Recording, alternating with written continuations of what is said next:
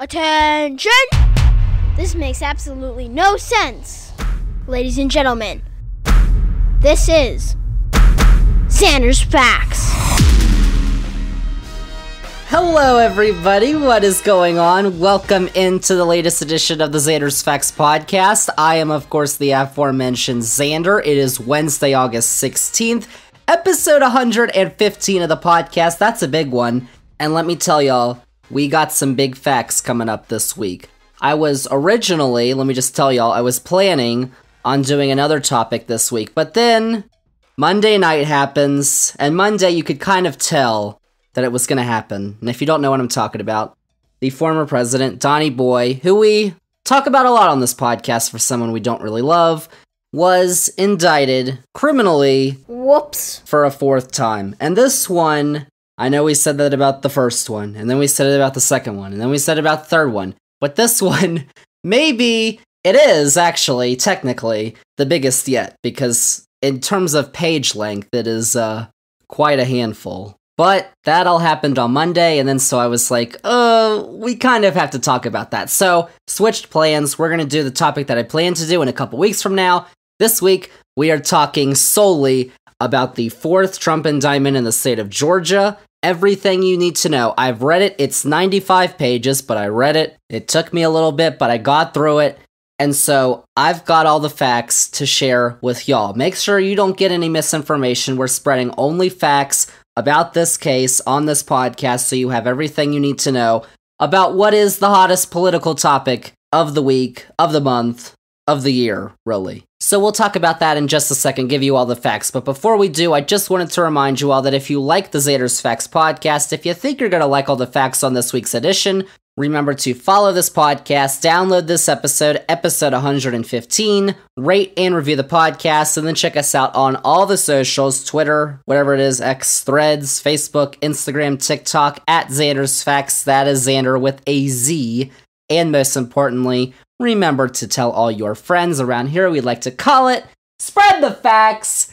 Zander's Facts Podcast. Tell all your friends about the podcast and our newsletter, Zander's Weekend Facts. If you haven't heard of it, it's on Substack. It's a recap of the week's top headlines. I write it, well, Saturday night, but then it comes out every Sunday morning. It is free to read and sign up to get it in your email every Sunday morning.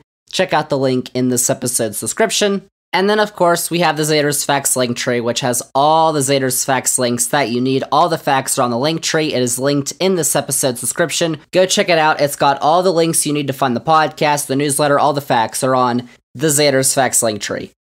So let's get to our main topic this week. It is usually I like to say we're just going to do a quick overview of this, quick overview of that, give you the facts. But y'all, I gotta tell you, I got a lot more notes than I usually do, so buckle in. Don't say I didn't warn you. Ugh. We got a lot of facts to get to this week because, ladies and gentlemen, it's not one, it's not two, not three, as LeBron James once said. Of course, he only won two in Miami. Not two, not three, not four, not five, not six, not seven. but it's the fourth. The number of the day is four. The fourth indictment has arrived Monday night. It was issued to the former president Donald John Trump, who, for the fourth time in this calendar year, was indicted on criminal charges on Monday. And for the fourth time in this calendar year, we're going to be devoting some facts to talk about them. Because, y'all, even though it feels like we're in the movie Groundhog Day, if you ever seen the movie Groundhog Day, you're just going in the endless cycle. Or the new movie, what's it called? Palm Springs. And we keep repeating ourselves. Because that's kind of what it feels like.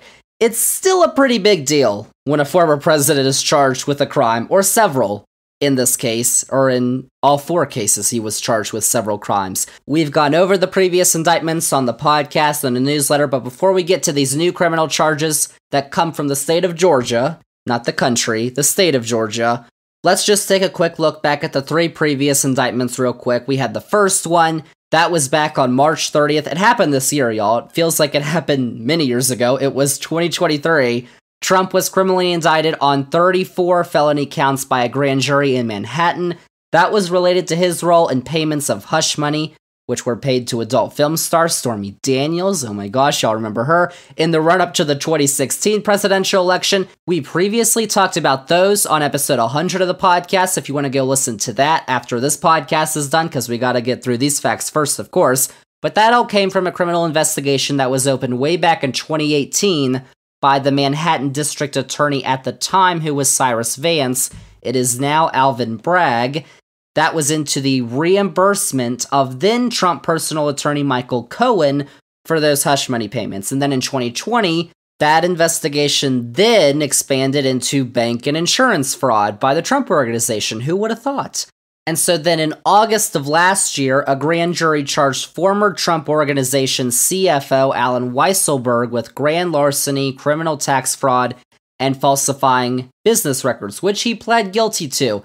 And then in March, Trump was charged with falsifying business records. He, of course, pled not guilty. That trial is expected to begin in March of next year, 2024. These are facts. Then, number two, in June, the first of two indictments came down from the Justice Department and special counsel Jack Smith. This indictment was in regards to his handling of classified documents after he was president at his Mar a Lago residence in Florida.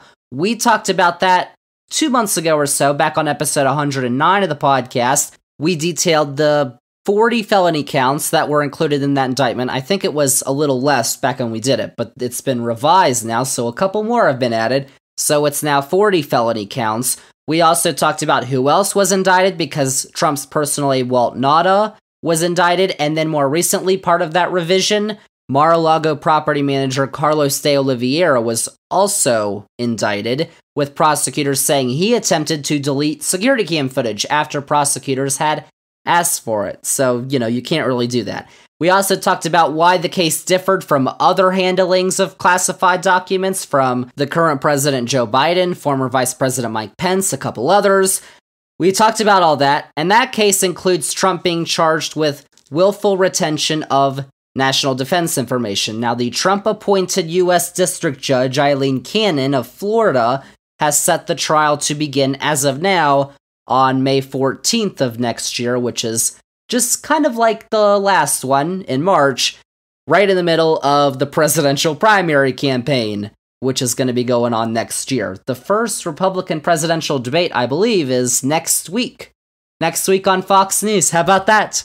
And then earlier this month, number three, on August 1st, the Justice Department handed down its second indictment to the former president from the team led by the special counsel Jack Smith. Both of these federal cases, of course, had the charges ultimately approved by a grand jury that is what we say full of Trump's supposed peers, as in, you know, other US citizens.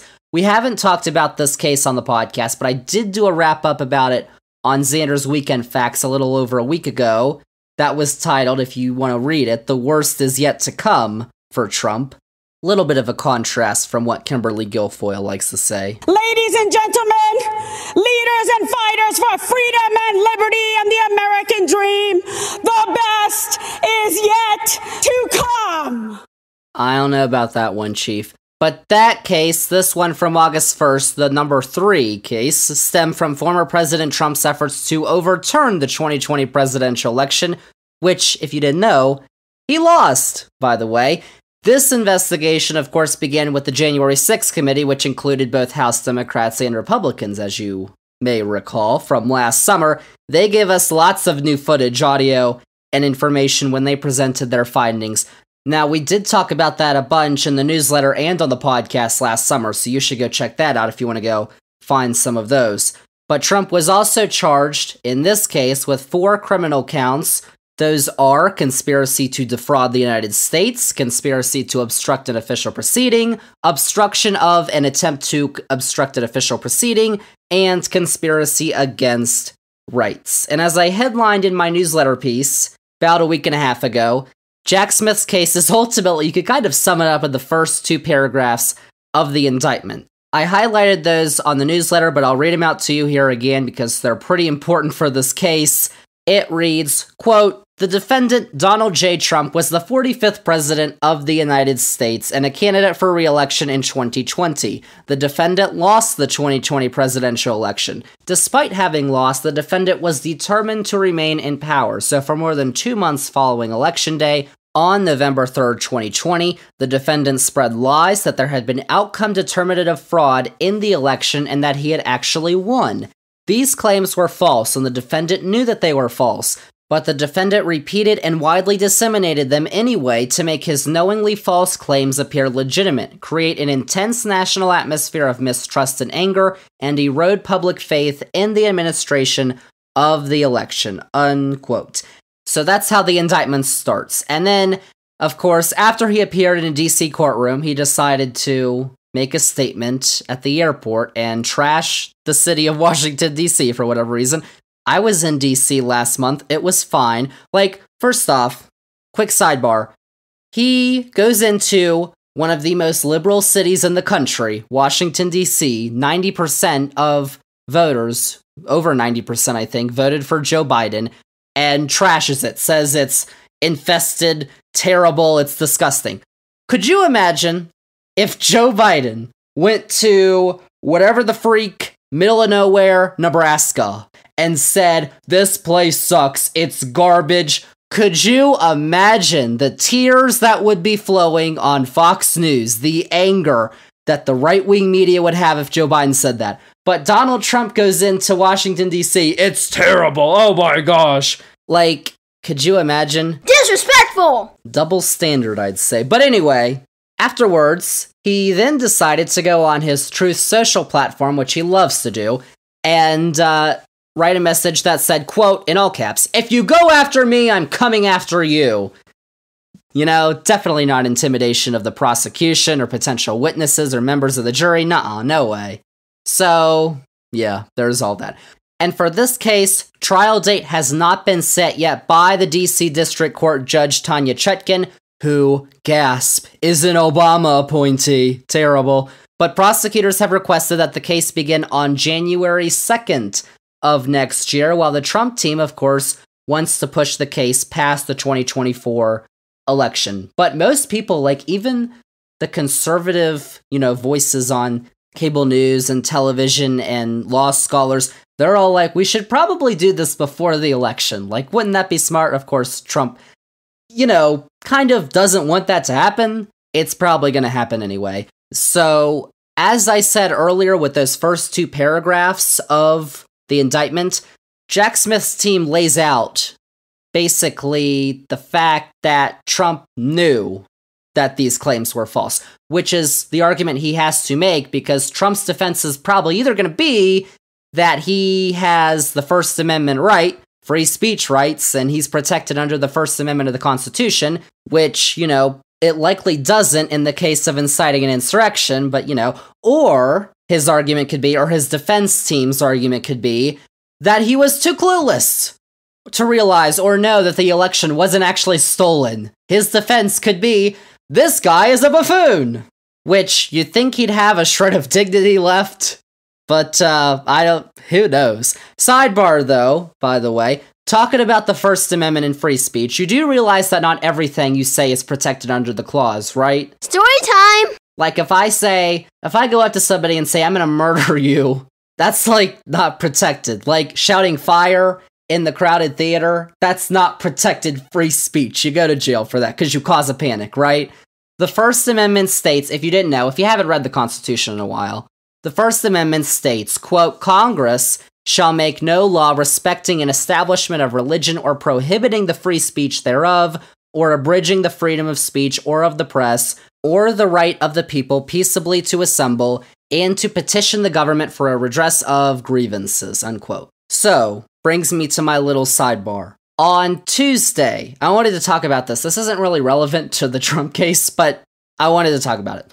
On Tuesday, it was revealed that ESPN employee, you may know this name, Sage Steele, who was an anchor for Sports Center, which is the prime, you know, that's the highlight program of ESPN, is leaving the network after she settled a lawsuit where she accused ESPN and parent company Disney of violating her First Amendment rights.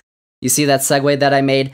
Back in 2021, Steele went on a podcast that was hosted by former NFL quarterback Jay Cutler, and she decided to spew some BS, I guess. She went on to rail against ESPN's at the time mandate that all its employees get vaccinated against the coronavirus. Oh my gosh, the horror. She said, quote, I respect everyone's decision, I really do, but to mandate it is sick and it's scary to me in many ways, unquote. She ultimately did get vaccinated. On the video version of that podcast, you can see she made sure to show everyone she got her band aid on her arm. Like, wow, you're so brave fighting the establishment. Oh my gosh. Like, first off, it's a private company. Private companies can do what they want. You know, First Amendment protects you from the tyrannical government, which I know is taking away all your rights right now. I know everyone's very scared. But First Amendment, as has been shown time and time again, proven in the courts of law, does not protect you from what a private company, what your boss can punish you for what you say basically. That's that's what happens. It's capitalism. So, but that wasn't all. She also decided to talk about the race of former President Barack Obama. Always a wonderfully calm and easily digestive topic, right? When she brought up the fact that Obama, who was biracial, like Steele, had chosen black on the census, she said, quote, I'm like, well, congratulations to the president. That's his thing. I think that's fascinating considering his black dad was nowhere to be found, but his white mom and grandma raised him. But hey, you do you. I'm going to do me. Unquote. Like, what? First off, there's a lot of people online who like to correct people about what she said with the Obama stuff, and now she didn't actually say this, she said that. Can we just agree it's a stupid claim? What are you talking about? That is one of the stupidest things I've ever heard. That that think that's fascinating. Oh my gosh. Well, I mean, what are you talking about? Just get off on the soapbox. Steele then argued that ESPN punished her because of those comments and that her right to free speech had been violated. But ESPN argued that she hadn't been punished because there's no evidence of her pay ever being docked. So then we get to a Twitter or X, I don't know what it is anymore, message from Steele on Tuesday that says, quote, Having successfully settled my case with ESPN slash Disney, Disney's the parent company of ESPN, I have decided to leave so that I can exercise my First Amendment rights more freely. I am grateful for so many wonderful experiences over the past 16 years and excited for my next chapter. Hashtag Steele Strong, unquote. Steele Strong, like, did your family home get hit by a tornado? Did you survive a bout with cancer? Steele Strong? I don't think so. But listen, if her First Amendment rights are in any way threatened by a private company, oh no. Listen, if the right wingers are persecuted, they have to stand strong, I guess. Oh, but you know, all the many blue checked friends that she has on Elon Musk's platform, they argued that personalities on the other side of the aisle have been free to say whatever they want without repercussions from ESPN, which is patently false. Like, I don't know if y'all remember, back in 2017, Jemele Hill is now a writer for The Atlantic, but she was a Sports Center anchor. She tweeted that Donald Trump was a white supremacist, which I mean, you know, was she wrong? But she got a warning from ESPN, but then White House Press Secretary Sarah Huckabee Sanders, who is now the tremendous governor of Arkansas, said that it was a fireable offense. That was a fireable offense. But what Sage Steele said, oh my gosh, how could you punish her for just expressing her mind? Free speech. Seriously? Interesting. But then, Jemele Hill only got a warning. Then, Hill was suspended from ESPN for two weeks later on after she said on Twitter that her followers should boycott businesses that were associated with the Dallas Cowboys, the NFL team, after their owner, Jerry Jones, took a hardline stance on players standing and not kneeling during the national anthem. Which, first off, if you're going to argue First Amendment rights, isn't it their First Amendment right not to stand? But, you know, oh my gosh, how could they? So there's that instance to be like, really? The left, as you say, doesn't get punished for what they say? Well, there's that. And then three years ago, in the summer of 2020, you may remember ESPN's NBA insider Adrian Wojnarowski, Woj, was suspended after he said in an email to Missouri Republican Senator and notorious friend of the insurrectionists, Josh Hawley, quote, well, I guess I won't quote, but he did say F star star star U. Of course, he didn't just type the letter F, he typed the letter F and then the letter U and, you know, the other two letters. So, you know, there's all that. But you know what? At least Sage is free from the shackles of ESPN and is now allowed to go to Fox or to Ku Klux Clay Travis's Outkick or Ben Shapiro's Daily Wire or whatever right wing cesspool pays her the most money to host a podcast where she gets her five seconds of fame and is finally able to express her true thoughts and emotions. That's worked out so well for many others who have left ESPN and sports to get into I'm gonna speak the truth on the issues. Like Michelle Tafoya. Y'all remember Michelle Tafoya? She was the NBC Sunday night football reporter. And then she decided, you know what? I don't want this cushy job anymore where I just have to stand on the sidelines and talk to players and all that stuff. I want to speak my mind. I want to tell the truth. So she launched a podcast, just like Zander. And one of her most recent podcast episodes is titled Hunter, Hitler, and Hand Soap. What? So that's how it's going for Michelle Tafoya. Oh, and I was looking at her, you know, list of episodes because I was very fascinated. Oh my gosh, the Michelle Tafoya show. She has on her most recent podcast the co founder of Moms for Liberty. We talked about Moms for Liberty on a previous podcast, and let me tell y'all, they are not friendly. Yikes! So, what a delightful podcast. I mean, uh, I just, I had to get that off my chest. I know we're over 20 minutes into the podcast and we haven't even got to what we want to talk about. But listen, I had to, I had to get some facts out there in that conversation because I was looking at that Tuesday. I was just like, oh, oh boy. So, yes, those are the three previous indictments that are facing former President Donald Trump, and now we have a fourth. And this week I wanted to talk about the case because I wanted to learn all the facts. I wanted to learn all the facts personally, and then I wanted to share them with all you fact finders because before you get to hear the squabble, dobble defense of whatever is going to happen on the platforms of Sean Hannity and whoever's replaced, Rush Limbaugh, Rush, you should probably get the facts before you hear all that whatever. So let's get to it. What is all the hubbub on the fourth indictment of Donald Trump? Before we dive in to that 95 page indictment, it's pretty long, y'all. Let's just take a look at the basics of this case.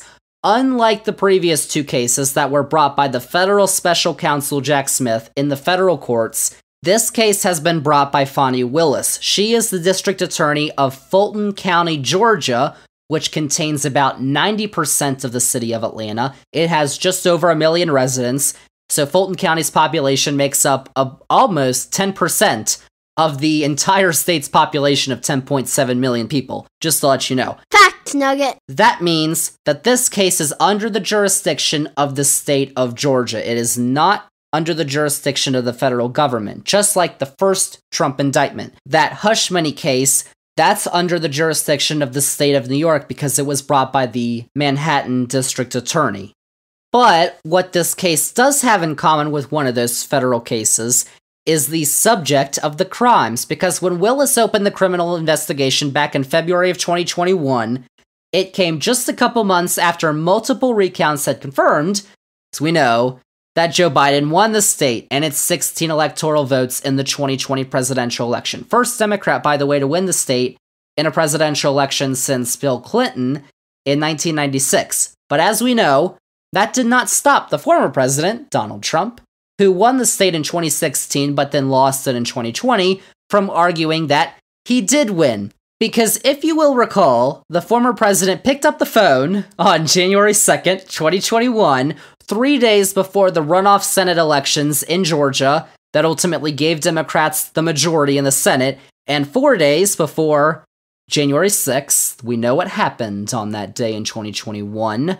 But on January 2nd, Trump did a little call to Georgia's Republican Secretary of State Brad Raffensperger. It was an hour long call.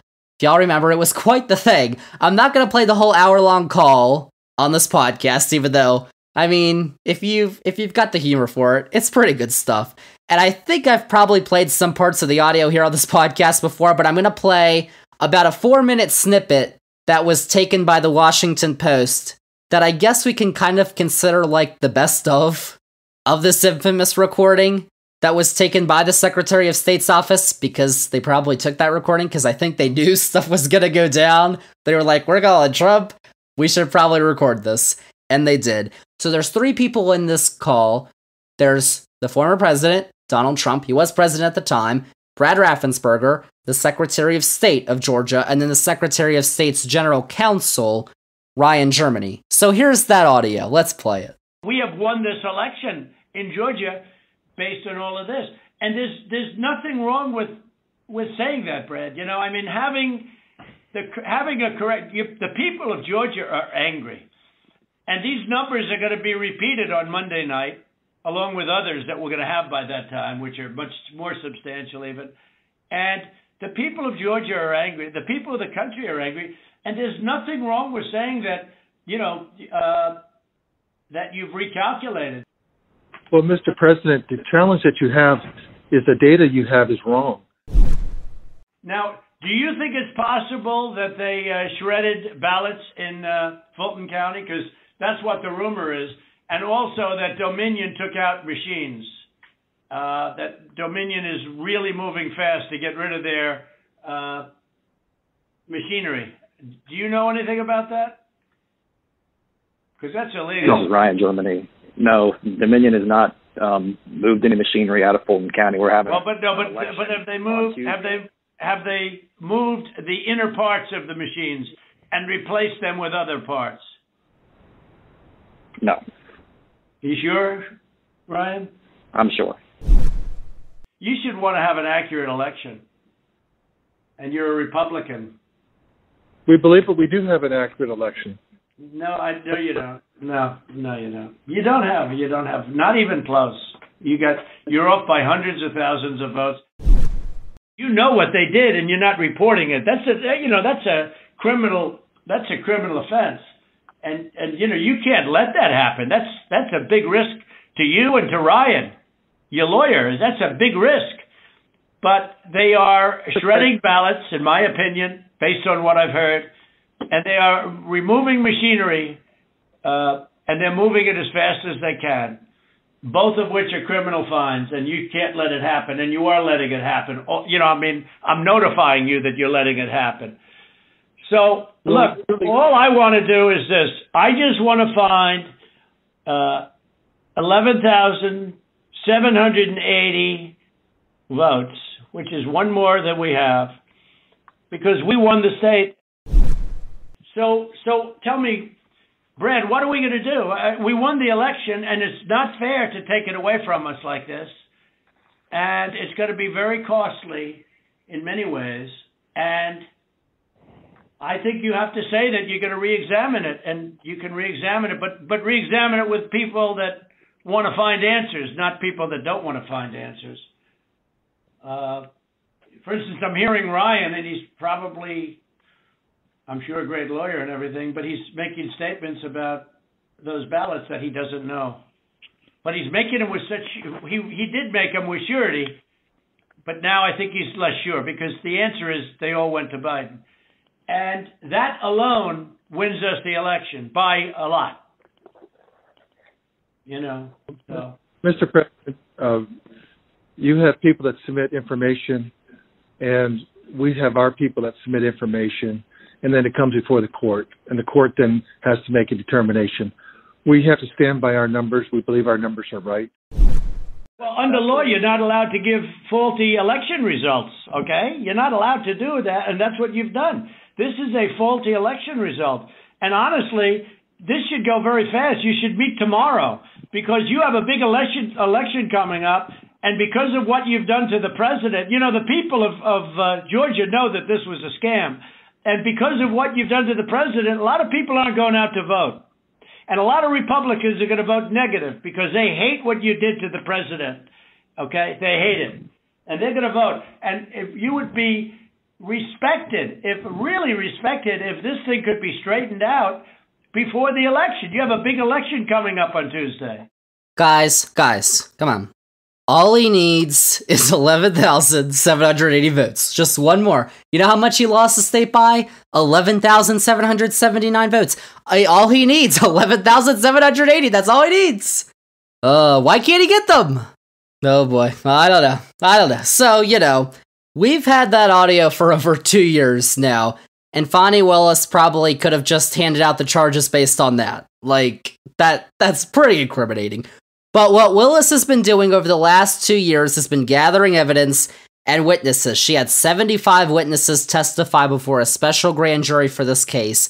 And then this summer, she had a regular grand jury presented the evidence that she compiled, that her team compiled, and then they ultimately voted on Monday night to approve the indictment in Fulton County in Georgia. The indictment is pretty long. 98 pages. I think I said 95 earlier. It's 98 pages. That is over double the length of the indictment from Jack Smith's January 6th case because it involves a lot more people other than Trump. A total of 19 individuals, including Trump, were named as co defendants and were charged in this case. Some of whom you've probably heard of, others maybe not, but there's 41 total counts, total crimes that in this case that are spread across these individuals. And we've also got 30 unindicted co conspirators, but they haven't been named, sadly. I'd like to know those names. But we do know the 19 that have been charged, and I'm going to give you their names. Even though it's on the front of the indictment, if you want to read along, that's cool. But basically, I'm going to outline who these people are, what their relation was. So, number one, of course, Donald John Trump, DJT. Who? Number two, Rudolph Giuliani, America's mayor, Rudy. That's right. It's Mayor Rudy Giuliani. Always amazing to see you. Love you. Sorry, I'm I, I'm a, I'm just so honored always as always to uh, interview you, sir. The former federal prosecutor and mayor of New York, along with being a part of Trump's personal legal team back in the day while Trump was president. Rudy's on there. Uh, we've also got John Eastman. He's a former Supreme Court clerk to the one and only Clarence Thomas, and a conservative attorney who helped Trump allies contest the election in several states. Mark Meadows, he was Trump's last White House chief of staff. He was on that call between Trump and Raffensperger, and before being chief of staff, he was a member of the House and of the far right conservative House Freedom Caucus. You've also got, oh, the best name on here, Kenneth Chesebro. That's right, y'all. Chesebro is a Trump attorney who also assisted in trying to halt the certification of the Electoral College and who we believe is one of six co conspirators that have not been publicly named in the federal January 6th case from Jack Smith. We also believe that Rudy Giuliani is another co conspirator, but that's technically not official. It's just been reported. You've also got, in this case, Jeffrey Clark. He is a former Justice Department official who Trump wanted to install as acting attorney general back in the day because he would have assisted in trying to overturn the election. Oh my gosh. But Trump and Clark ultimately had to back down because a bunch of officials of the Justice Department were threatening to resign. So there was going to be this mass resignation. That would have been good, so they ultimately had to be stopped. Then you've also got Jenna Ellis, a very vocal Twitter personality, I would say. Ellis is a lawyer who was a part of the Trump campaign and promoted misinformation during a legislative hearing about the election. You also have Ray Smith III, another lawyer for the Trump campaign, who requested that state lawmakers appoint a different set of electors who would have cast their votes for Trump instead of Biden. That's kind of illegal. Robert Cheeley is a Georgia lawyer who communicated with Eastman about the fake electors plan. Michael Roman was the director of election day operations for the Trump campaign. David Shafer is a former state senator and chairman emeritus of the Georgia Republican Party. Shawn Still is a Republican member of the Georgia State Senate, tried to be a presidential elector, even though he was not one. That's kind of illegal. Stephen Lee is a pastor from Illinois. He was accused of trying to pressure former election worker Ruby Freeman. She, by the way, if you remember from last summer, testified before the House January 6th committee. You've also got Willie Lewis Floyd, who is the director of Black Voices Trump, who also is charged with pressuring Ruby Freeman. Then you've got Trevian Kutti, a former publicist for the infamous Ye, Kanye West, also charged with planning to pressure Ruby Freeman. You've got Sidney Powell, who is a conservative lawyer who was involved in meetings at the White House where plans to contest election results were made. Uh oh. Powell allegedly coordinated with the data company Sullivan Strickler to access election data from Coffee County, Georgia, which is in the southern part of the state. You've got Scott Hall, who is a Georgia bail bondsman accused of helping with the unlawful breach of election equipment and theft of voter data in Coffee County. And then finally, Misty Hampton, who is a former election supervisor for Coffee County. She is accused of allowing two co conspirators to enter non public areas of the Coffee County Board of Elections and Registration Office and allowing them to access voting equipment. So, what they accuse the other side of doing, uh, they actually did themselves. Okay. So, those are the people who are involved. What are the charges? And not everyone is charged with the same thing in this. All 19 are charged with at least something, but what they're charged with does vary. Now there's 41 different counts in this indictment. Some are charged with some of the counts, some are charged with others. But there is one count that all 19 are charged of. It's the main count. It is count number 1. Ooh. It states in the indictment, quote, the grand jurors aforesaid, in the name and behalf of the citizens of Georgia, do hereby charge and accuse, it lists the names, everybody's listed, with the offense of violation of the Georgia RICO Act, unquote. So, if you've been following the news recently, you've probably heard RICO, R I C O, been mentioned a lot. But if you're like me, they started mentioning that, and I was like, what is RICO? I have no idea what RICO is and why it's so important. So I'm going to tell y'all. RICO, R I C O, stands for Racketeer Influenced and Corrupt Organizations. Now, back in 1970, the federal government passed the RICO Act, which provides extended criminal penalties and a civil cause of action for acts that were performed as part of an ongoing criminal investigation. The law was originally used to pursue mafia bosses who had others carry out their crimes on their behalf.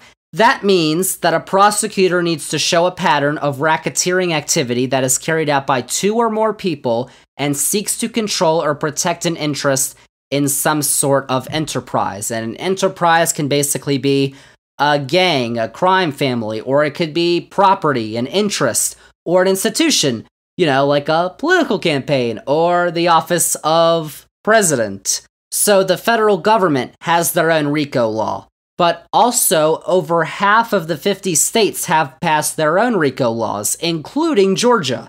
Now, Georgia's law defines racketeering more broadly than the federal law, and it also allows prosecutors to use crimes that were committed in other jurisdictions beyond the state of Georgia to prove a wider conspiracy, which the prosecution has done in this case because later on we're going to see they cite operations from the Trump team in other states besides Georgia. Now, if convicted under just this count, the sentence is 5 to 20 years, which can be probation, or it can be prison time, or it can be a mixture of both. And there can also be a fine. So, count one is basically all about the RICO Act. And what's particularly amusing, actually, about this is that when Rudy Giuliani, before he was mayor of New York, when he was a federal prosecutor, he often used the RICO law when prosecuting some of the more notorious organized crime families in New York. Now, almost four decades later, Giuliani is being charged under a similar version of that law in Georgia, which is chef's kiss. That's impressive. So ultimately, what the indictment needs to prove are that the defendants were a part of an enterprise, almost like a gang or a mob, that were working on behalf of the top guy, which in this case is the former president. Now, the indictment introduces this charge in three important paragraphs, which I'm going to read to you. And also, by the way, you can follow along because I linked the indictment on the episode description. There's a link so you can read it yourself, all 98 pages. And there's also an annotated version which gives you more context from the New York Times. I also linked that in the episode description so you can go check those out as well. Just making sure that nobody accuses me of saying anything false or not a fact because I'm basically I'm reading from the indictment. They're all facts. How about that? So, the introduction paragraph of this first count says, quote, defendant Donald John Trump lost the United States presidential election held on November 3rd, 2020. One of the states he lost was Georgia. Trump and the other defendants charged in this indictment refused to accept that Trump lost, and they knowingly and willfully joined a conspiracy to unlawfully change the outcome of the election in favor of Trump. That conspiracy contained a common plan and purpose to commit two or more acts of racketeering activity in Fulton County, Georgia, elsewhere in the state of Georgia, and in other states. Unquote. So you can see it's outlining why it's a violation of the RICO law. And so then we get into the next two paragraphs, which are labeled as the enterprise. So it goes, quote, at all times relevant to this count of the indictment, the defendants, as well as others not named as defendants, unlawfully conspired and endeavored to conduct and participate in a criminal enterprise in Fulton County, Georgia, and elsewhere. Defendants, it lists all the defendants' names again, unindicted co conspirators, individual 1 through individual 30, and others known and unknown to the grand jury, constituted a criminal organization whose members and associates engaged in various related criminal activities, including, but not limited to, false statements and writings, impersonating a public officer, forgery, filing false documents, influencing witnesses, computer theft, computer trespass, computer invasion of privacy, conspiracy to defraud the state, acts involving theft, and perjury. This criminal organization constituted an enterprise as that term is defined in the official code of Georgia, that is, a group of individuals associated in fact. Fact. The defendants and other members and associates of the enterprise had connections and relationships with one another and with the enterprise. The enterprise constituted an ongoing organization whose members and associates functioned as a continuing unit for a common purpose of achieving the objectives of the enterprise. The enterprise operated in Fulton County, Georgia, elsewhere in the state of Georgia, in other states too, including but not limited to Arizona, Michigan, Nevada, New Mexico, Pennsylvania, and Wisconsin, and in the District of Columbia. The enterprise operated for a period of time sufficient to permit its members and associates to pursue its objectives. Unquote. So, you can see the indictment lays out how these crimes would be punishable under the RICO Act because of the number of individuals associated along with the crimes that the indictment says were committed. If you say so. So then, the indictment lists eight manners and methods that the defendants used to further the goals of what is being called the enterprise, which also includes at least some, if not all, of those 30 unnamed co conspirators, the ones we don't know but haven't been charged. So, those eight manners and methods. Number one, false statements to and solicitation of state legislatures.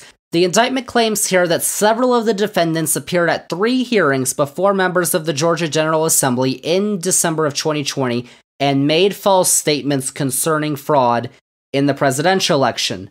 Number two, false statements to and solicitation of high ranking state officials. The indictment claims that several of the defendants made false statements to the governor of Georgia, Republican Brian Kemp, the Secretary of State, Republican Brad Raffensperger, and the Speaker of the State House of Representatives, Republican David Ralston, who died in November of 2022.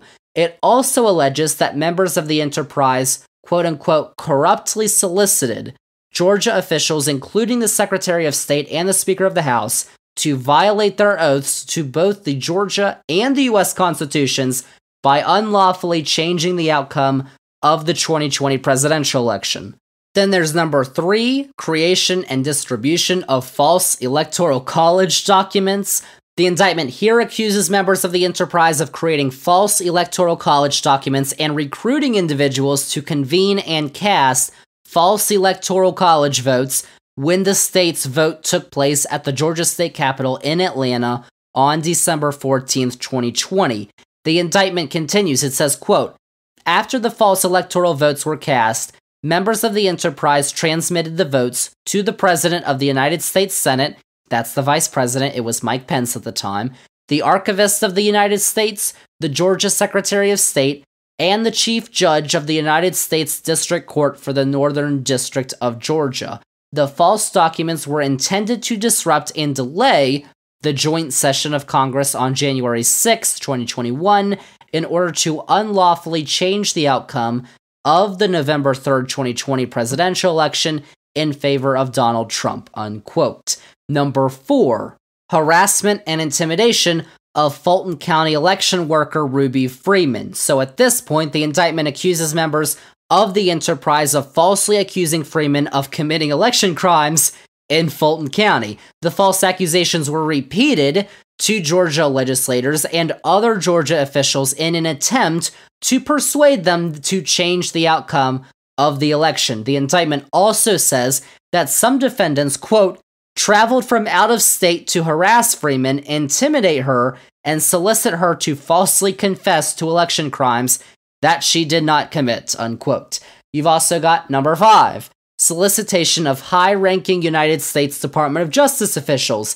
The indictment here accuses members of the enterprise of corruptly soliciting high ranking U.S. Department of Justice officials, quote, to make false statements to government officials in Fulton County, Georgia, including the governor, the Speaker of the House of Representatives, and the President pro tempore of the Senate, unquote. The next part I read was one of the more shocking things that I found in this indictment. It says, quote, in one instance, Donald Trump stated to the acting United States Attorney General, just say that the election was corrupt and leave the rest to me and the Republican congressman, unquote. Which I guess really shouldn't shock me at this point, but it's still, it's like, whoa. And ultimately, that's kind of why I think in this case, if he decides to use that argument, and in the federal January 6th case, if they try and use the argument that he was dumb enough to think that the election was actually stolen, quotes like that just say the election was corrupt and leave the rest to me and the Republican congressman. That's a quote that kind of infers that, like, oh, you know it's not corrupt, but you want us to say it anyway. So that kind of blows that defense argument out of the water, I think, but Either way. Number six, solicitation of the Vice President of the United States.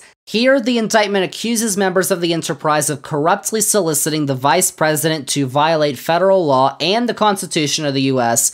by unlawfully rejecting the Electoral College votes cast in Georgia and in other states. Number seven, unlawful breach of election equipment in Georgia and elsewhere. The indictment also accuses members of the enterprise of corruptly conspiring to, quote, unlawfully access secure voting equipment and voter data. In Georgia, members of the enterprise stole data, including ballot images, voting equipment software, and personal voter information. The stolen data was then distributed to other members of the enterprise, including members in other states. Unquote. What are you talking about? So basically, what they accused the other the Democrats, what they accused the Democrats of doing, and Dominion voting machines. That's why Fox News is out almost a billion dollars because they had to pay Dominion all that money because of those claims that were repeated on Fox News airwaves. And they were the ones actually taking the voting machines. I mean, wow. And then number 8, obstructive acts in furtherance of the conspiracy and the cover up. Finally, here the indictment accuses members of the enterprise of filing false documents, giving false statements to government investigators, and committing perjury in judicial proceedings in Fulton County and elsewhere to cover up the conspiracy. So, those are basically what the indictment says are the methods that the defendants use to help further the goals of the enterprise, as the indictment says. Or basically, in plainer terms, what was their goal? Overturn the results of the 2020 election. But that, again, is just count one. And it somehow doesn't even stop there because it then goes on for another whole lot of pages and it lists a total of 161 overt acts, is what it calls them, that were committed to affect the objectives of the enterprise. It lists these under the heading of acts of racketeering activity and overt acts in furtherance of the conspiracy. So these basically go into more detail on the actual events that transpired that go into the eight manners and methods that we just went over. Now, obviously, I'm not going to read out all 161 overt acts for you.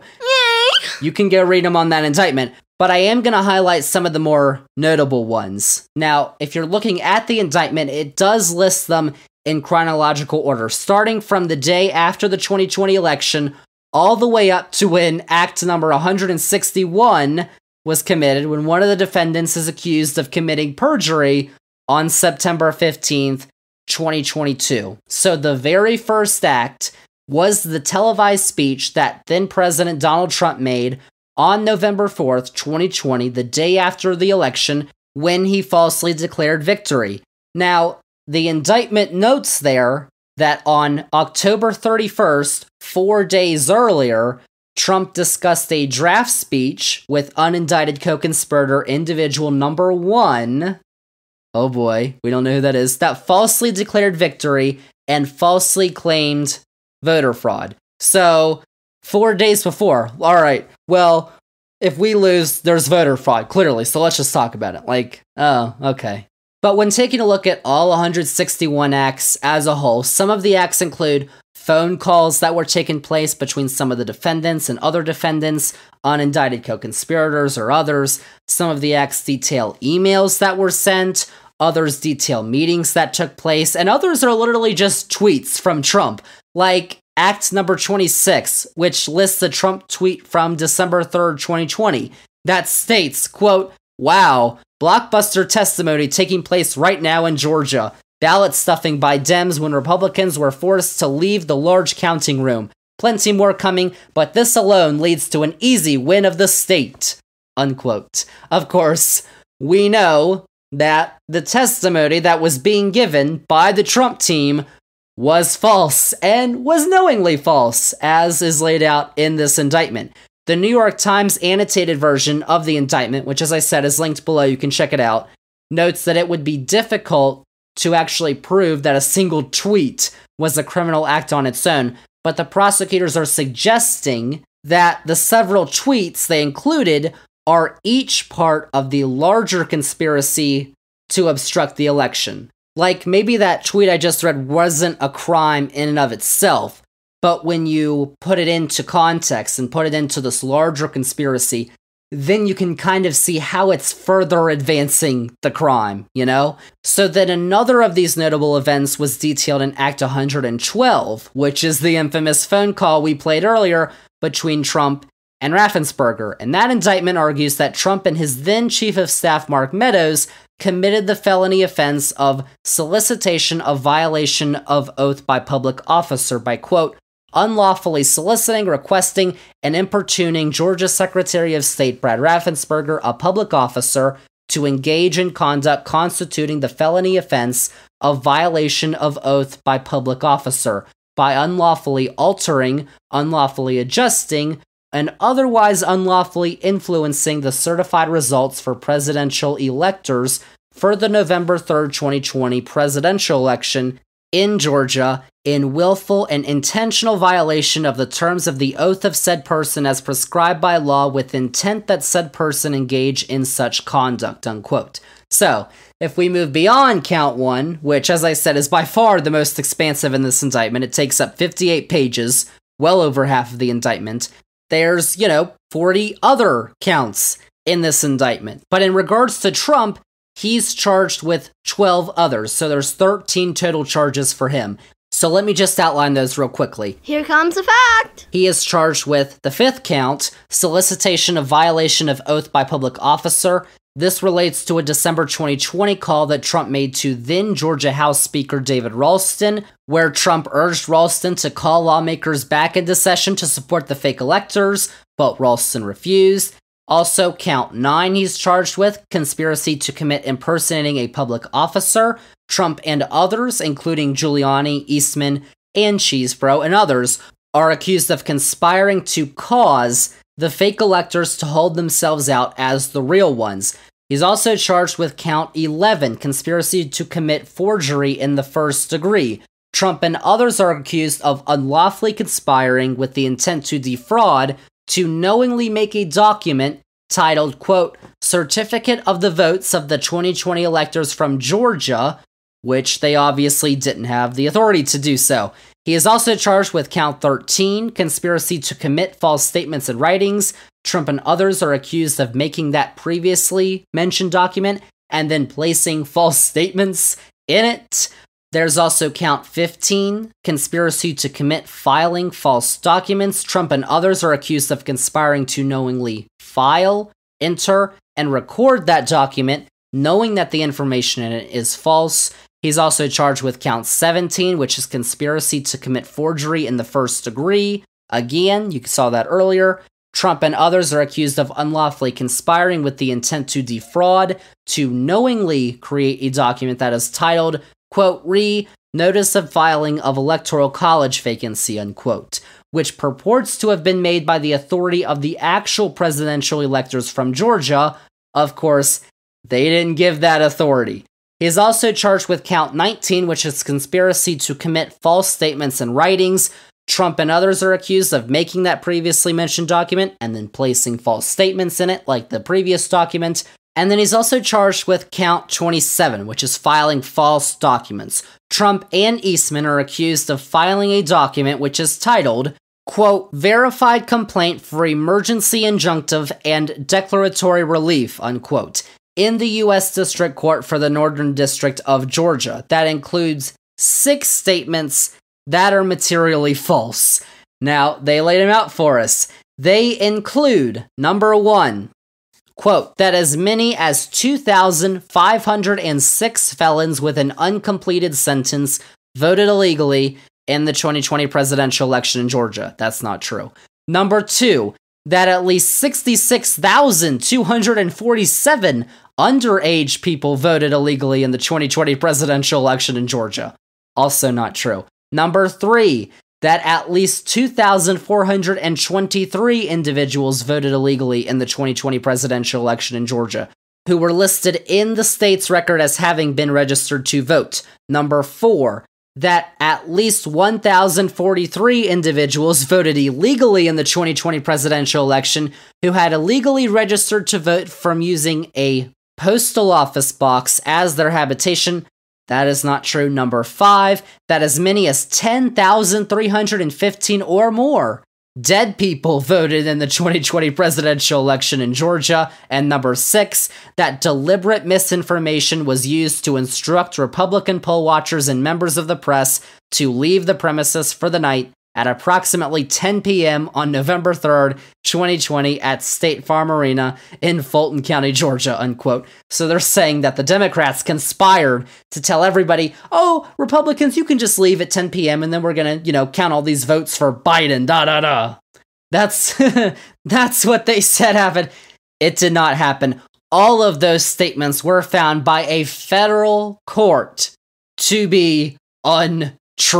Guaranteed. He is also charged with count 28, which is solicitation of violation of oath by public officer. Now, Trump and Meadows are accused of unlawfully soliciting, requesting, and importuning Georgia Secretary of State Brad Raffensperger, a public officer, to engage in conduct constituting a felony offense. Now, that, of course, is related to the January 2nd, 2021 phone call that we played earlier that I said Trump was obviously talking, but Mark Meadows was also on the line for that call. And he's also charged with count 29 false statements and writings, which I think might be my favorite one here because Trump is accused of making the following 13 false statements in that January 2nd, 2021 phone call to Raffensperger to Georgia Deputy Secretary of State Jordan Fuchs, who was also on the call, and to Georgia Secretary of State General Counsel Ryan Germany.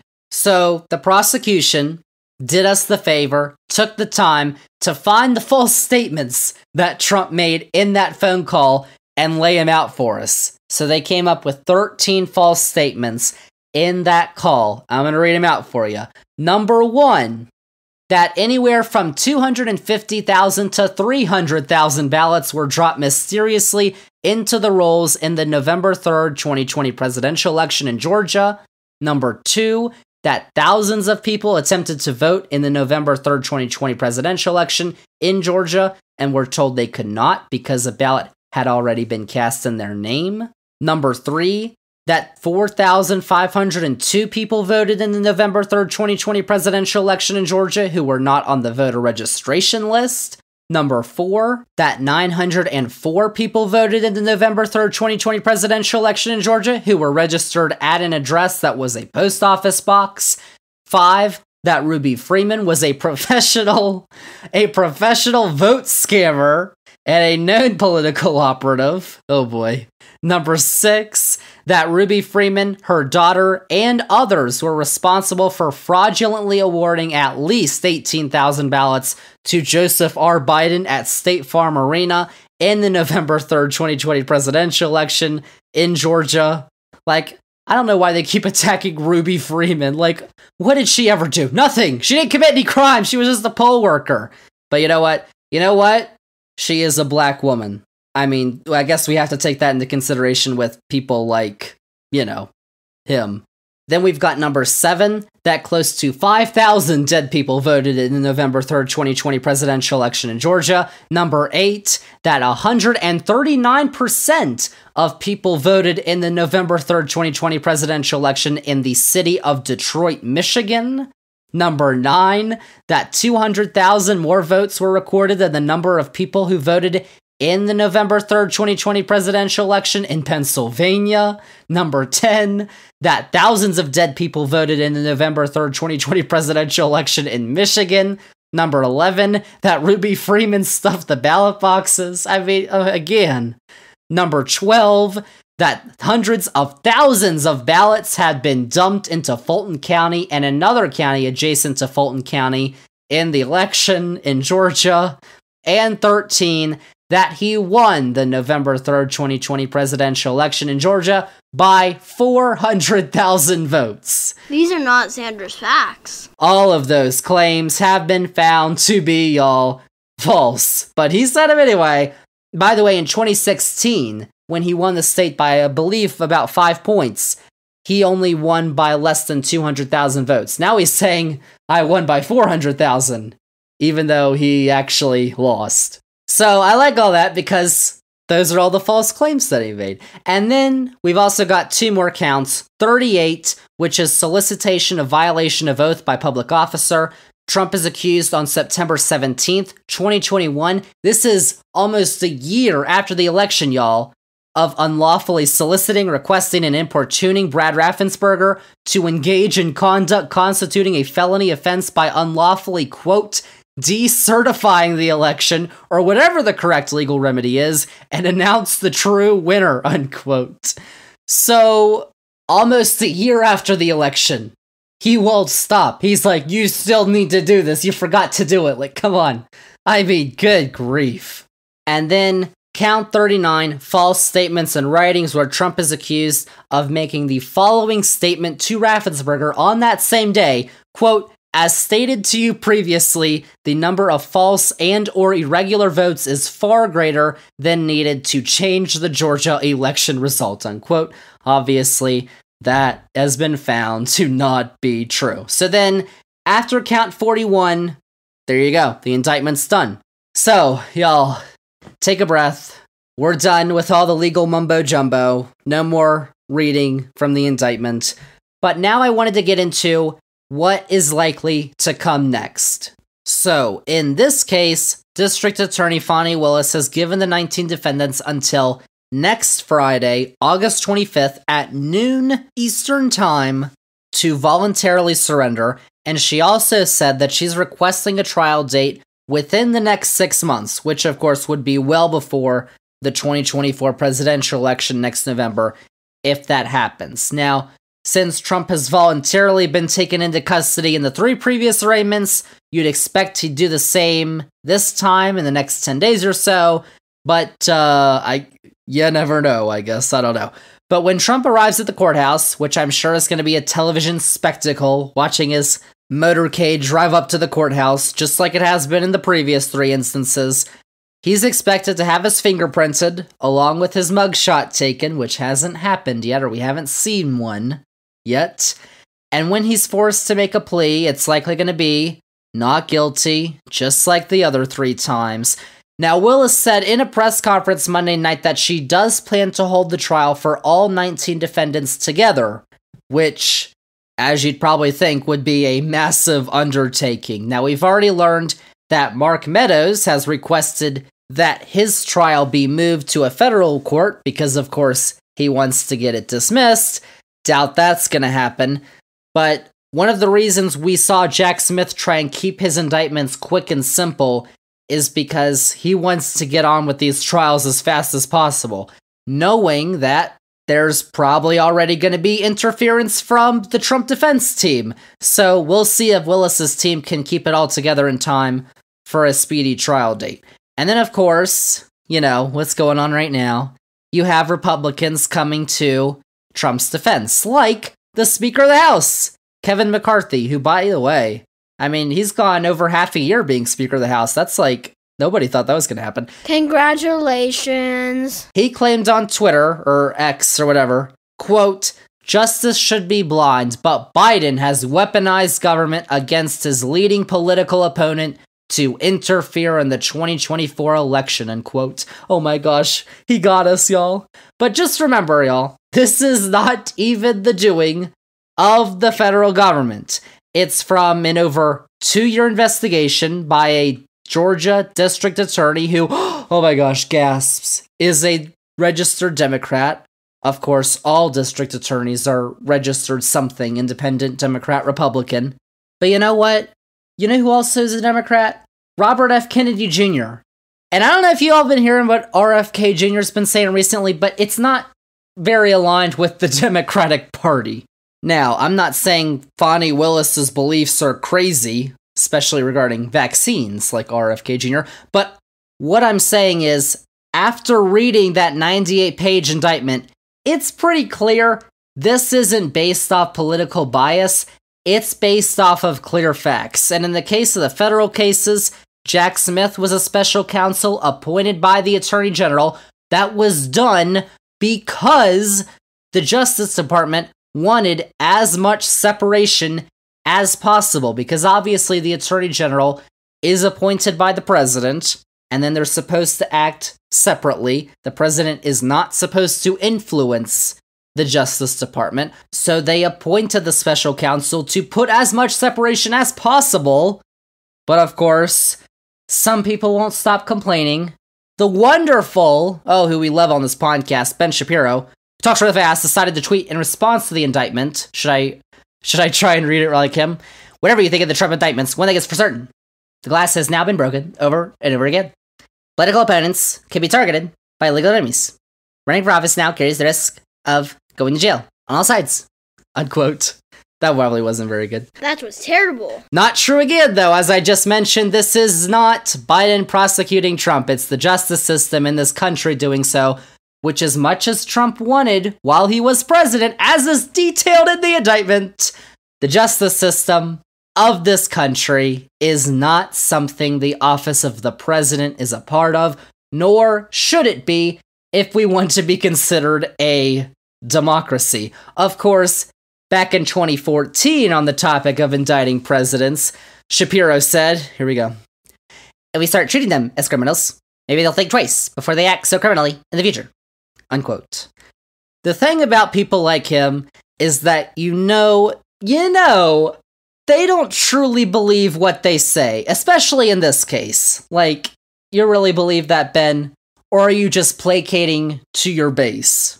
It's the same way for people like Candace Owens and Ku Klux Clay Travis, people who previously have advocated for the other side until they realized that their grift wasn't really working and it would be much more beneficial for them on the other side of the spectrum. These people are truly the worst because they blabber nonsense that they know people who are encapsulated into a bubble, a brainwashed bubble, will believe, but the people who are saying it don't even believe it.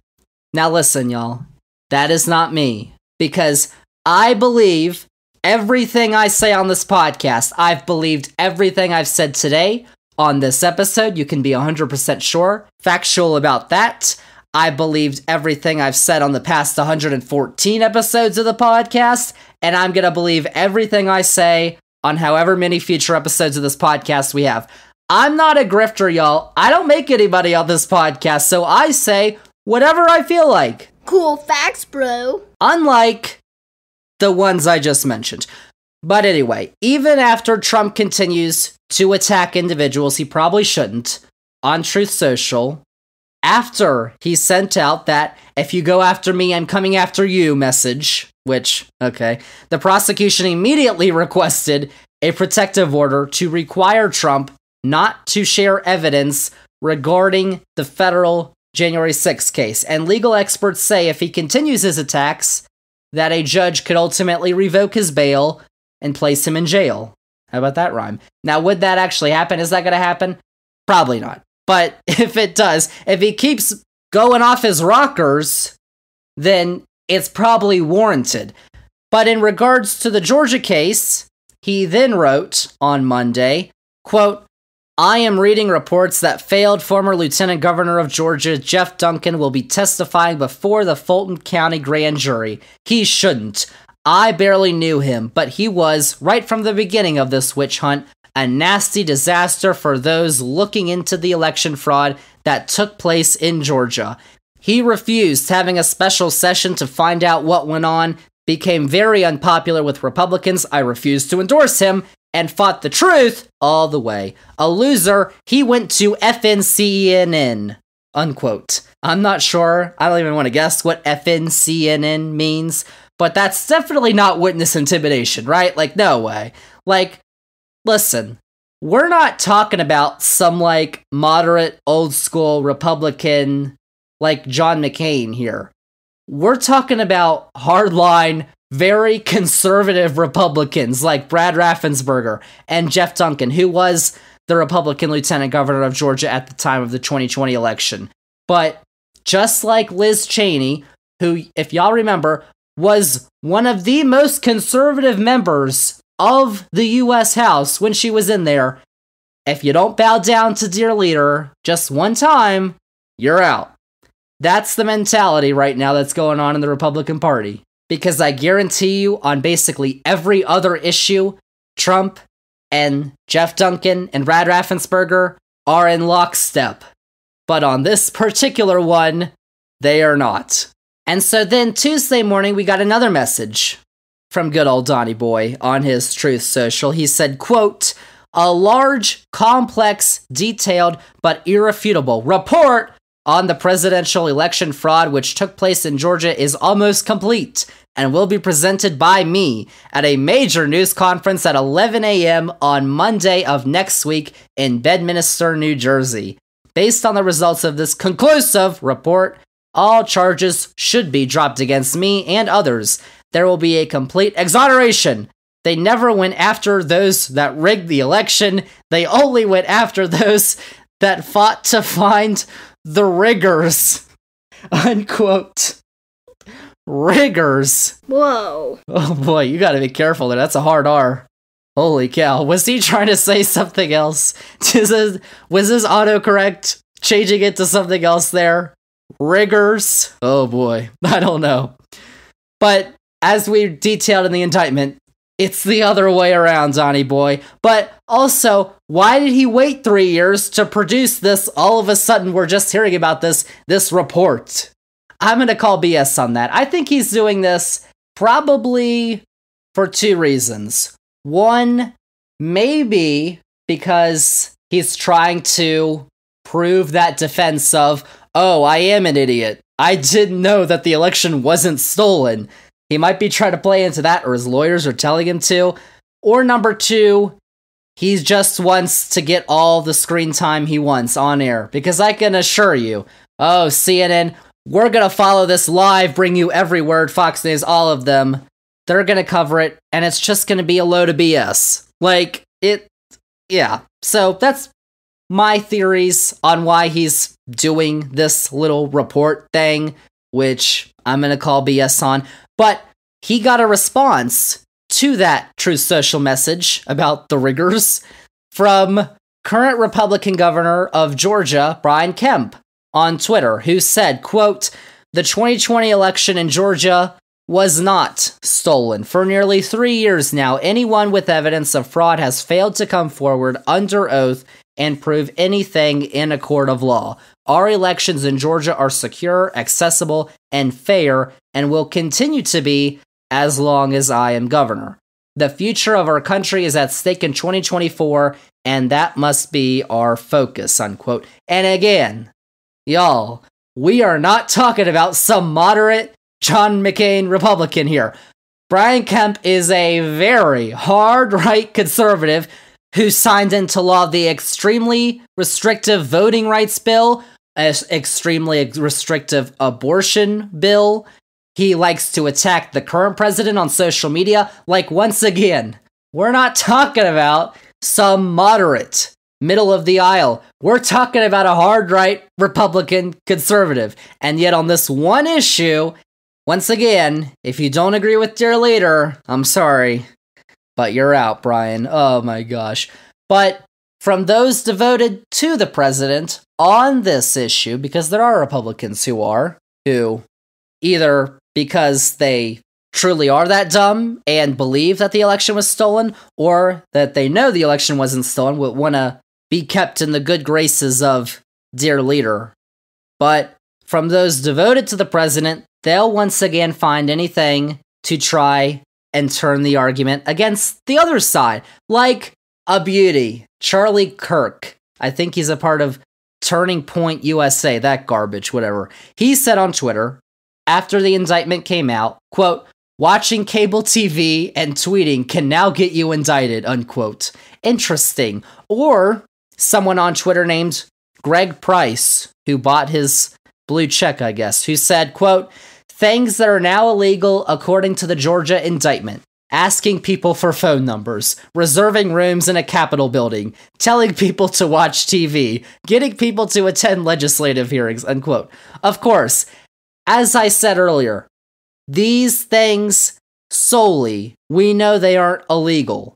But as you would know from reading the indictment, which I doubt Greg Price or Charlie Kirk even did, even though we're not talking about some Democratic Party manifesto, we're talking about an official legal indictment that was filed in a court of law by prosecutors, by a district attorney. As you would know by reading the indictment, these things together are part of the buildup of that conspiracy. So I did see, I did like this response to Greg Price's tweet on Twitter that was sarcastically, quote, so suddenly it's a crime to buy a plane ticket with 10 of your best friends on 9 11, unquote. Yeah, yeah.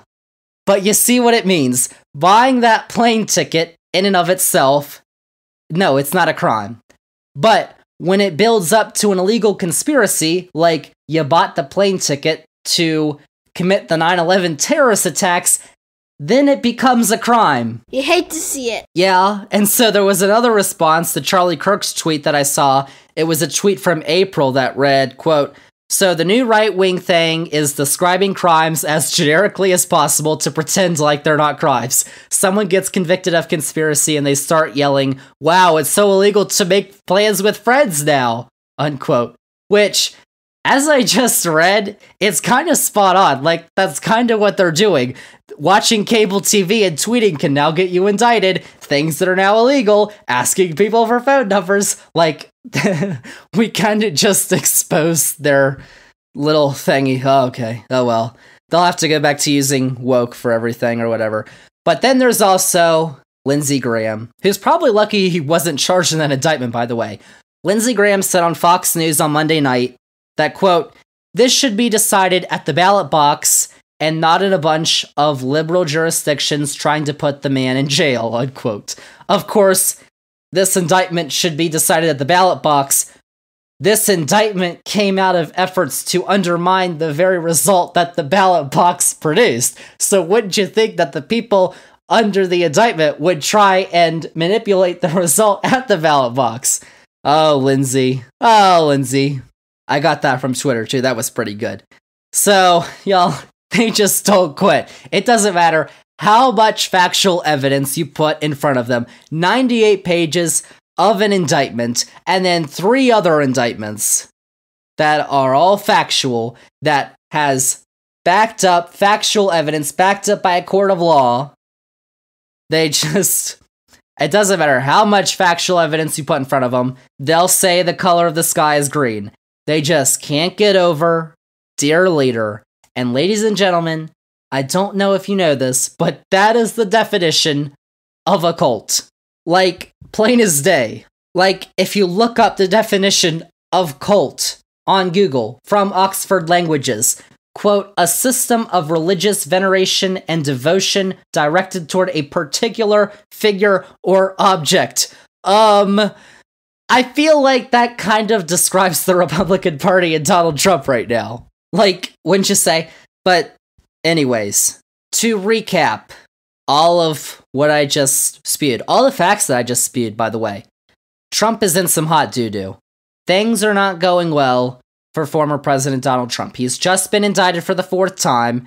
And when we take a look at this indictment compared to, you know, the others, the three others, it might be the most damning yet. Like I'd say, um, I guess if I had to rank them, the election related indictments are probably the worst for Trump. One and two, you could probably switch him over. I mean, the 98 pages is kind of, there are 18 other people but also there's something I'm going to bring up in a minute, which is kind of bad. So those are kind of one and two right there. Then you've got the classified documents case, and then of course the hush money payment case, which is up in New York. So you know, I'd probably say that's the least bad for him. But even being indicted once, even if that was the only one, he would still be the only former president in the history of the United States of America since 1776, y'all, who has been indicted. So even being indicted once is bad.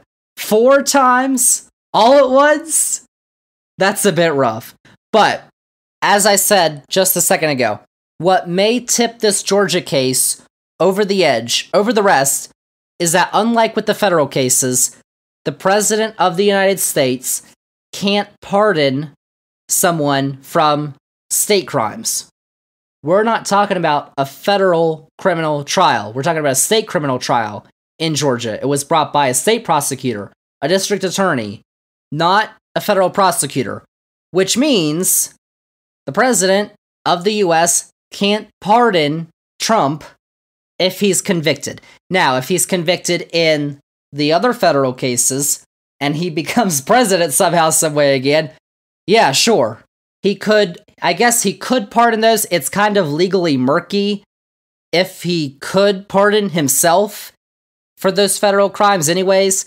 But also, in Georgia, the governor doesn't even have pardon power in the state of Georgia. And I don't know if Brian Kemp would want to pardon Trump anyway. They're not the best of friends, as you saw from that Twitter exchange.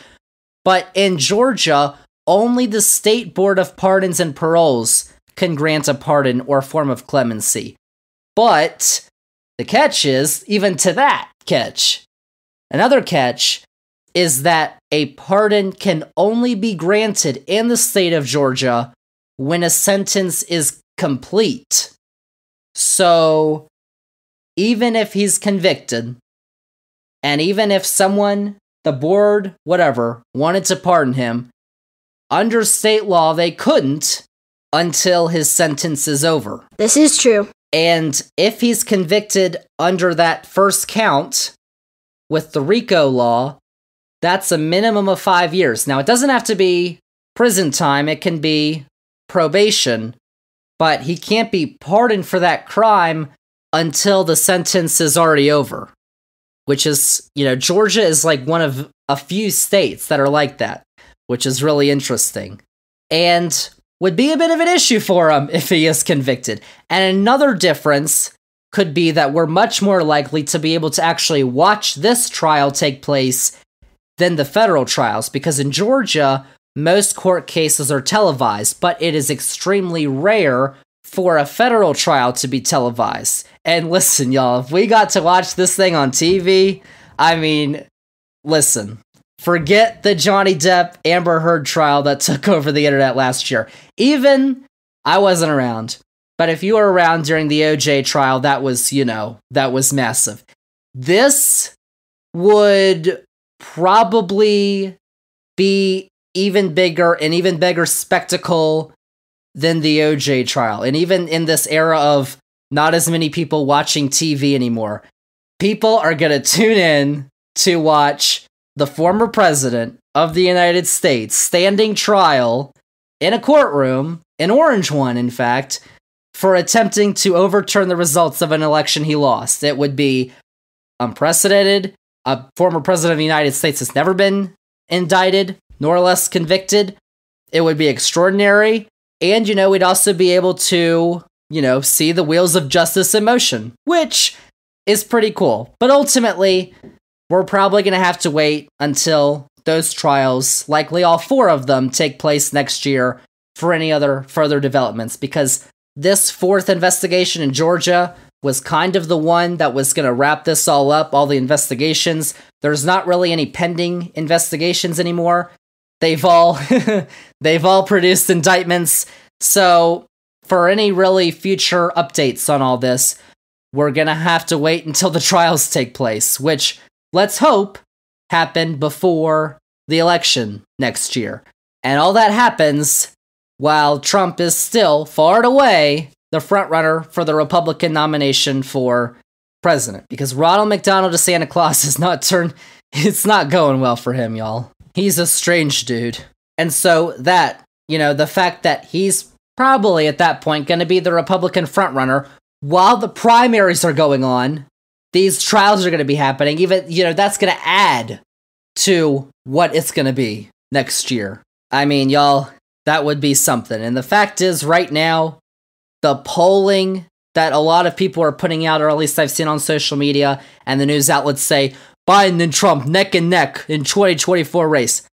Y'all, let me just remind you, we are over a year, a year and two or three months from the presidential election in 2024. Now is not the time to be looking at a Washington Post poll and being like, "Oh my gosh, how is Biden tied with Trump?" Like, um, maybe it's because you're looking at polling over a year out. Like at this point in 2015, I don't think Donald Trump was the frontrunner of the Republican nomination. We certainly didn't know that Joe Biden was going to be the Democratic nominee. That was, you know, maybe it was likely, but it was far from a given. We had maybe somebody had a clue, but a lot of people, most people had no clue in 2007 at this point that Barack Obama was going to be the Democratic nomination and dominate his way to the presidency in 2008. We didn't know that at this point in 2007. Things change. So to look at polling right now and get all worked up is silly when it's 43% to 43% or 40% to 40% or whatever. Like, because y'all, I don't think we talk about this enough on this podcast. We really haven't in the last year or so because Congress has been divided and not a lot of stuff has passed. But the current president, Joe Biden, I think has done a lot of good stuff and gotten a lot of stuff passed, which I should do a future podcast on. And I'd vote for him again. But a lot of people like to say the economy is bad. A lot of people don't understand what the economy is. They just look at the gas prices and the inflation and say, oh, it's terrible, even though the inflation's gone way down, by the way. And then, of course, there is the fact that Biden is over 80 years old, which, you know, would I rather have someone younger? Yeah, but he's the incumbent. He's going to run again. The other Democratic nominee is RFK Jr., who believes vaccines are the devil. So, you know what? I'll support him. And maybe there are a bunch of people who are, you know, not too thrilled about having to vote for someone as old as Biden, or, you know, kind of nervous about voting for somebody as old as him. But then you have to take a look at the other side and see the other man, Donald Trump. And I think there's a lot of people, and it's not reflected in the polling right now, who, if that happens, if the general election comes and it's a Trump Biden rematch, we'll look at one side and say, well, that guy's really old and he's been president for four years. And then take a look at the other side and be like, holy That dude is friggin' nuts. And I ain't voting for him. And like, that's gonna be the thing. Like, Joe Biden may be old, and maybe the economy isn't at its greatest point ever right now.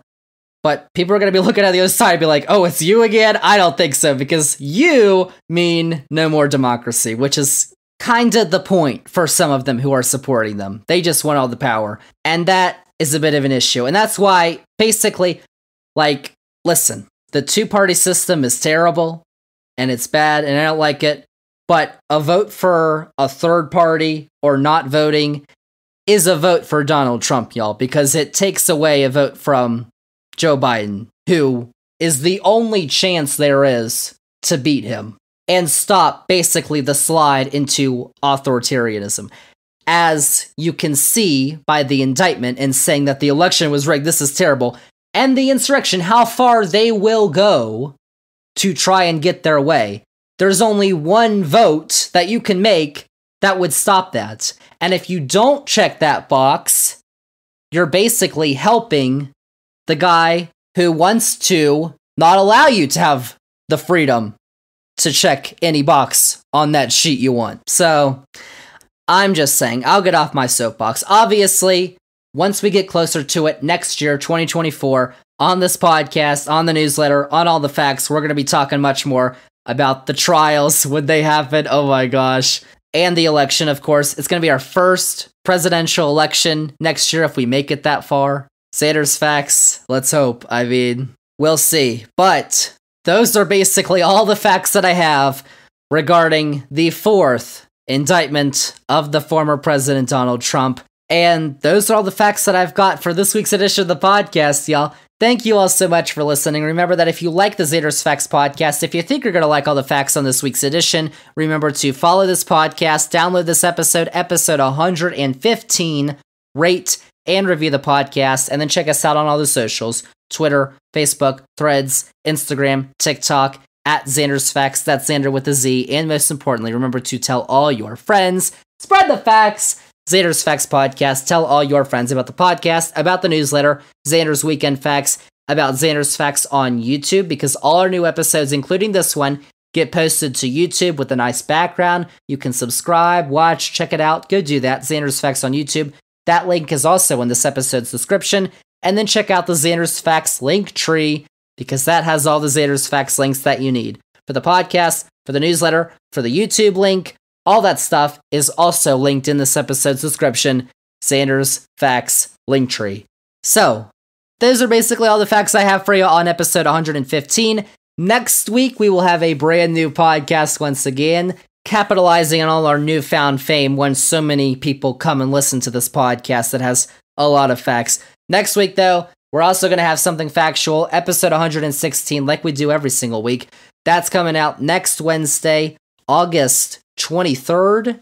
So go check that out next week, episode 116. But that is it.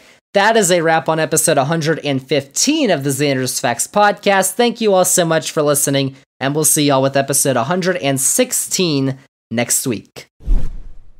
The caravan of mostly Central American immigrants is now in the Mexican city of Huautla